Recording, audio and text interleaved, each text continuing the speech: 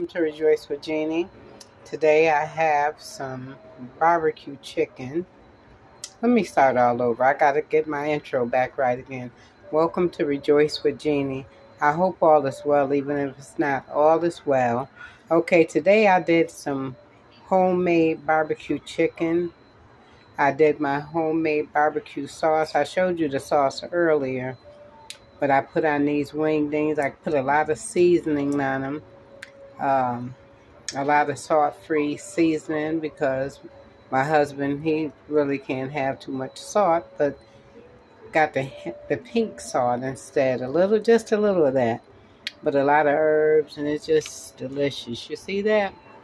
And then I got some greens, collard greens here. I mean turnip greens. And then here, I got some yellow rice that I made for him. That's dinner. That's something quick for today. So I hope y'all enjoyed it. Well, let's see what positive nugget I can give you if I had anything to say today. I would say keep the faith, keep your head up, and don't let go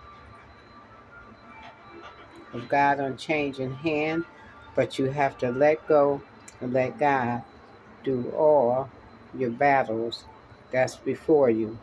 Put them in his hands and don't pick them back up. So have a with that. Have a blessed weekend. Probably see you tomorrow with some more food and I'm going to be coming out here more like I told you. And I'm going to be sitting down enjoying it.